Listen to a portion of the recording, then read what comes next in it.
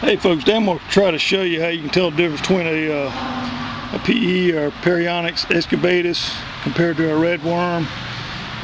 Eisenia fatida, fatida, however y'all want to say it. So I'm from the south, what can I do? But first thing I'm going to show you is even how these cocoons are different sizes before I go prowling around with these worms. But I'm going to try to show you.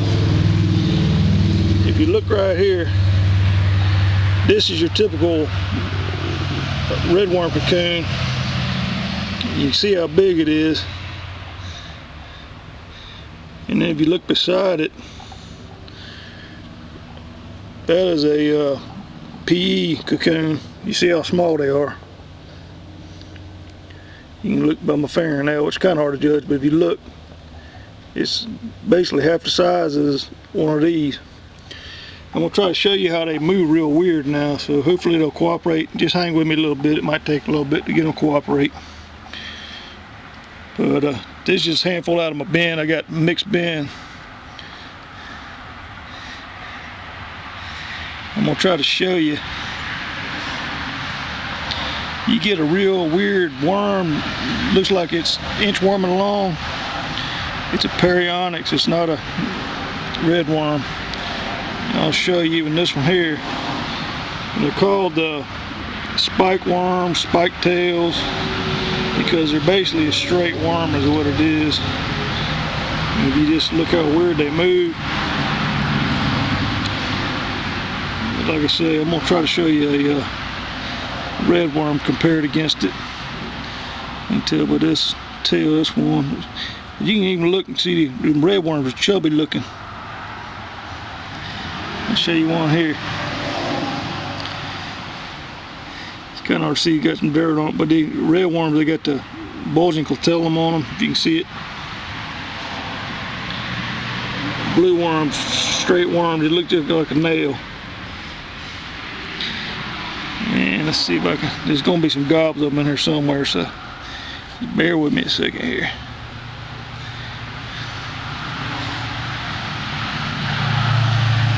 Another. You see the blue tip on them? Me get them over here a little bit.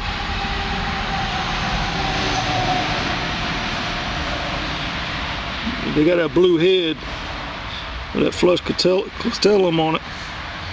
That's your blue worm. P. You ain't really want to cooperate and show you his true walking ability here.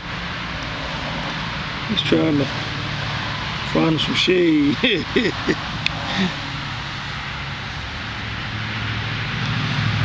kind watch how they move. They have that snake-like move to them.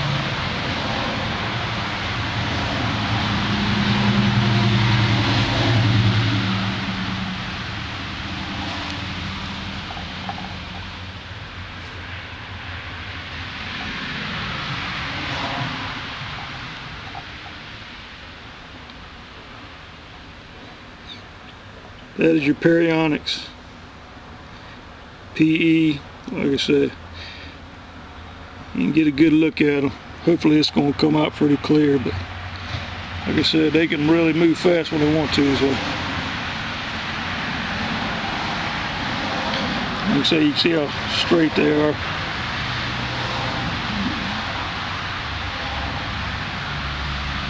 Yeah, he's tired of me messing with him. But these things, even the babies, they'll do a real whipping thing when you got one of those a real small baby in your hand.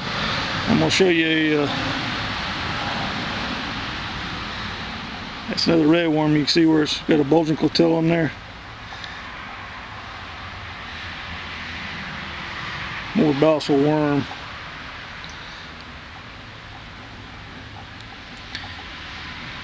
So here's another Perionyx here. That one's starting to freak out a little bit, but he's still not doing too good.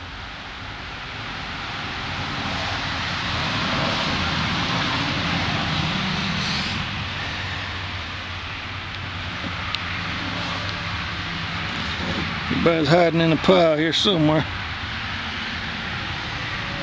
Little Nicky baby worms all in here.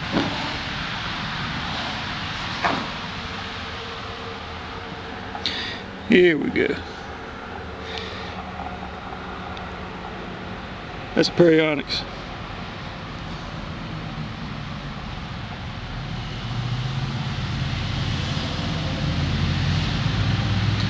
Like I said, they got that kind of inchworm move to them.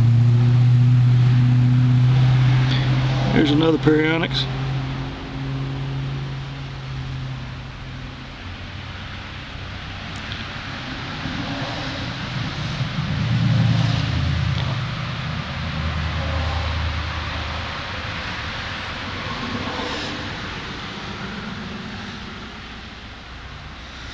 You see, like I say how docile these red worms really are compared to these others. That's a red worm. You can see they're bigger and it's getting smaller toward the end.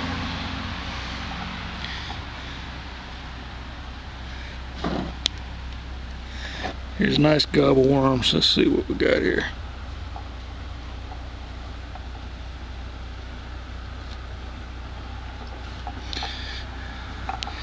You see that's a Perionyx.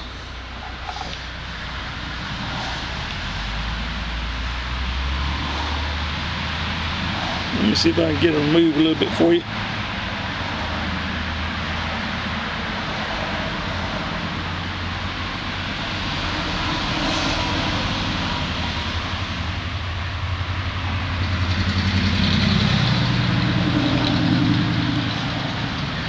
They get a pretty good reverse on them too. See how he's backing up?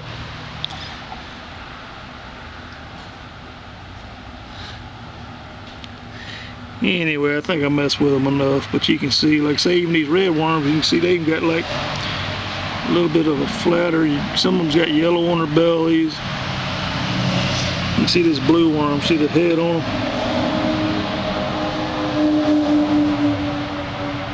Flush clitellum. More look at him. Anyway, hopefully this will help you out. That's it for now.